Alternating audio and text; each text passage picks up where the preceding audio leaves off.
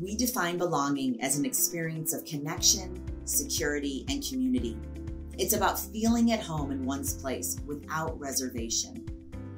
A true sense of belonging at work is the deepest outcome measure of engagement and one of the best predictors of the extent to which employees will thrive at work. In the Achievers Workforce Institute's 2021 Culture Report, we examine the strong case for building a culture of belonging. We see that employees who feel they belong are more engaged, productive, resilient, and satisfied. But how do we get there? Let's take a closer look at the report's key findings and the five pillars of belonging that impact not only your employees' experience, but your business's performance as well. We surveyed more than 3,500 employees from around the world to test our model of belonging and measure the impact of creating a culture of belonging on the employee experience and the business. What we first found was that belonging is a critical driver of individual and organizational success. According to the Achievers Workforce Institute survey, people with a strong sense of belonging are significantly more likely to be engaged in their role. They're also more than twice as likely to be productive, resilient, committed to their company, satisfied with their job, and enthusiastic about their role. This is a clear call to action for HR and business leaders. Investing in and encouraging a sense of belonging at work should be a priority for all organizations. But it's important to understand how to cultivate this sense of belonging effectively.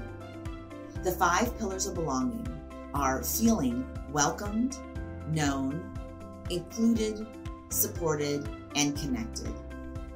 Each of these pillars correlate positively and significantly with a stronger sense of belonging among employees.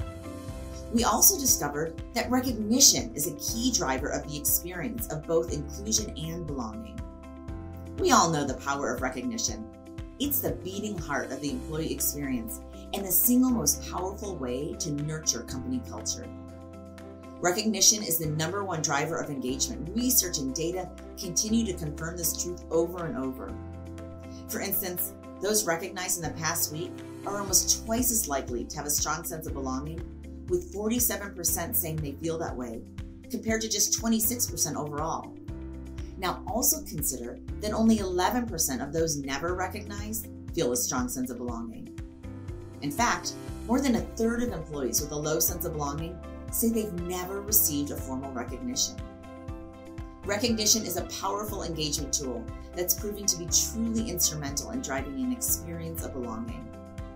There's so much more to dive into when it comes to understanding the impact of belonging on employee and business performance.